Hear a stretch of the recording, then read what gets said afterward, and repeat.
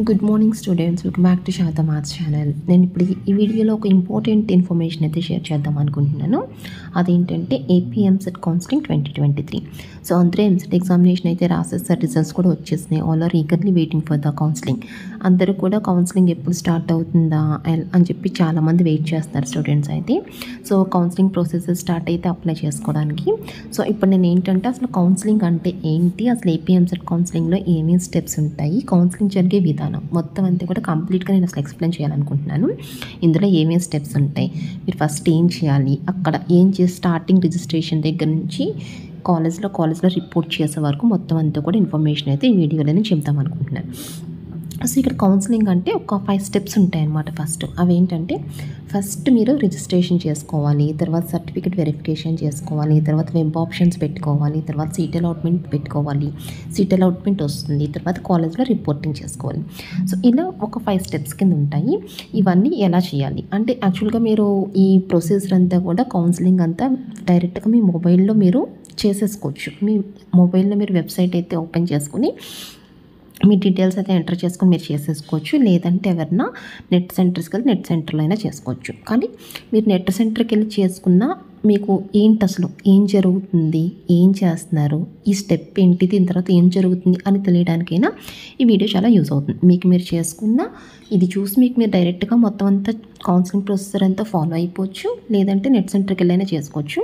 అక్కడైనా ఓహో ఇది జరుగుతుంది. దీని తర్వాత నెక్స్ట్ ఇలా జరుగుతుంది. అప్పుడు మన కౌన్సిలింగ్ కంప్లీట్ అవుతుంది. ఆ విషయం మీకు తెలుస్తుంది కదా?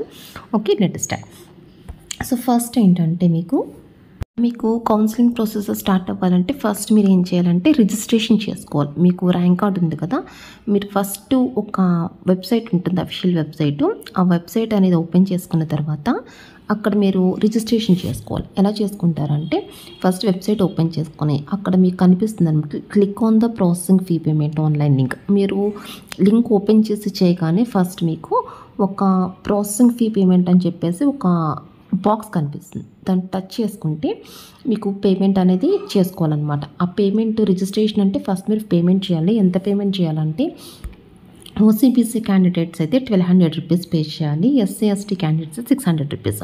First మీరు వెబ్సైట్ ఓపెన్ చేయగానే పాస్ ప్రాసెసింగ్ ఫీ అని చెప్పి ఒక బాక్స్ వస్తుంది. దాన్ని టచ్ చేసి మీరు ఫస్ట్ మీరు అమౌంట్ పే చేసేయాలి. So to make the payment candidates have to enter their AP EAMCET hall ticket number and the rank obtain the exam and click on the okay button అది processing fees ఎలా చేసుకుంటారంటే మీరు first అక్కడ మీరు మీ hall ticket నెంబర్ని మీకు వచ్చిన ర్యాంక్ని ఎంటర్ చేసుకుని ఓకే బటన్ మీద ప్రెస్ చేసుకుంటే ఆన్లైన్ పేమెంట్ అయిపోతుంది. అయిన తర్వాత ఆ రిసిప్ట్ ఉంటుంది కదా ఆ రిసిప్ట్ ఒకటి మీరు ప్రింట్ తీసుకుని మీ దగ్గర పెట్టుకోండి ఫర్ ద ఫర్దర్ రిఫరెన్సెస్ మీరు పేమెంట్ చేసిన తర్వాత వచ్చిన రిసిప్ట్ని కంపల్సరీగా దాన్ని ఏంటంటే రిసిప్ట్ తీసుకోండి.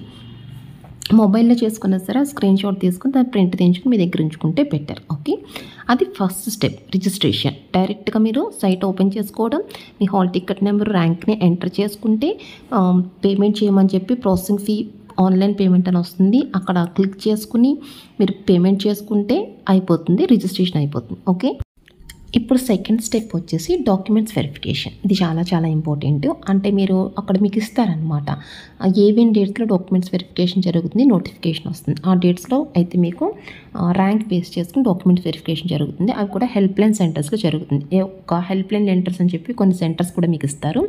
అందులో మీరు ఏదో ఒక కాలేజ్కి వెళ్ళి మీ ర్యాంక్కి ఏ రోజు ఉందో డాక్యుమెంట్స్ వెరిఫికేషన్ చెక్ చేసుకుని ఆ రోజు మీ సర్టిఫికేట్స్ పట్టుకుని వెళ్తే అక్కడ డాక్యుమెంట్ వెరిఫికేషన్ అయిపోతుంది. అది సెకండ్ స్టెప్ రిజిస్ట్రేషన్ అయిపోయిన తర్వాత మీరు డాక్యుమెంట్ వెరిఫికేషన్ చేసుకోవాలి. సో ఇప్పుడు మీకు ఏమేమి డాక్యుమెంట్స్ కావాలి? సో ఆ లిస్ట్ అయితే ఇప్పుడు నేను చెప్తాను ఇక్కడ. ఇవన్నీ కూడా మీరు ఇప్పటి నుంచి అన్ని జాగ్రత్త పెట్టుకోండి రెడీ చేసుకోండి. అప్పుడు మీకు చాలా ఈజీగా ఉంటుందన్నమాట. ఫస్ట్ మీకు కావాల్సింది ఏంటంటే AP EAMCET twenty twenty three rank card. మీరు ర్యాంక్ కార్డ్ ఉంటుంది కదా ఎగ్జామ్ రాస్తే ర్యాంక్ కార్డ్ కావాలి. Second ఏపీఏపీఎస్ twenty twenty three hall ticket. మీరు ఎగ్జామ్ రాసిన హాల్ టికెట్ మీకు వచ్చిన ర్యాంక్ కార్డ్. ఈ రెండు ఉండాలి. నెక్స్ట్ టీసీ ఇంటర్మీడియట్ టీసీ కావాలి. ఇంటర్ చదువుకున్నా కదా ఇంటర్మీడియట్ కాలేజ్లో టీసీ తీసుకోవాలి. ఆ తర్వాత memorandum of marks inter marks list inter marks memo ఒకటి కావాలి. తర్వాత proof of the date of birth అంటే S S tenth class marks list కావాలి. తర్వాత study certificate from sixth to intermediate ఇది చాలా చాలా ఇంపార్టెంట్ మీకు సిక్స్త్ క్లాస్ నుంచి ఇంటర్మీడియట్ వరకు మొత్తం అన్ని క్లాసెస్కి స్టడీ సర్టిఫికేట్ ఒకటి కావాలి.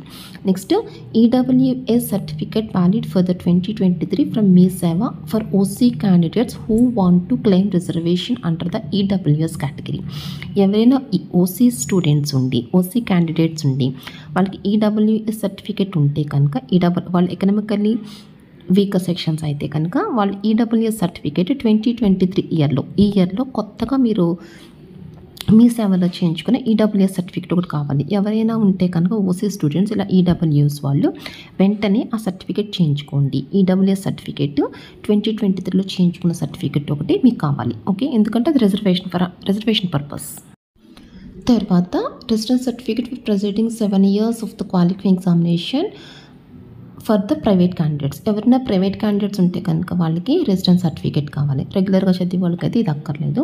Next Andhra Pradesh residence certificate of father mother for a period of ten years excluding the period of employ outside of the Andhra Pradesh in respect of the non local candidates. ఎవరైనా parents ఆంధ్రప్రదేశ్లో కాకుండా వేరే స్టేట్లో కనుక job చేసే వాళ్ళు ఉంటే వాళ్ళు కూడా రెసిడెన్స్ సర్టిఫికేట్ తెచ్చుకోవాలి. ఎక్కడైతే జాబ్ చేస్తున్నారో అలాంటి రెసిడెన్స్ సర్టిఫికేట్ కావాలి. For the non local candidates is one for the non local candidates ఇది కావాలి. And integrated community certificate in case of the BC SC ST issued by the competent authority అంటే ఎవరైనా BC SC ST వాళ్ళు ఉంటే కనుక వాళ్ళ caste certificate కావాలి. Next income certificate of parents or white ration code has to be for those who claim tuition fee embossment reimbursement అంటే ఎవరికైనా కూడా ఫీజ్ రియంబర్స్మెంట్ కావాలంటే వాళ్ళు parent income certificate of the పేరెంట్స్ని వైట్ కార్డ్ ఎవరుందో వాళ్ళందరూ కూడా income certificate of the parents కూడా చూపించాలి. Next local stat certificates that can who migrates any part of the state of Andhra Pradesh and state of Telangana ఎవరైనా ఈ state కాకుండా other state నుంచి వచ్చి ఇక్కడ జాయిన్ అయ్యి వాళ్ళు ఉంటే కనుక వాళ్ళకి లోకల్ స్టాట్ సర్టిఫికేట్ కావాలి.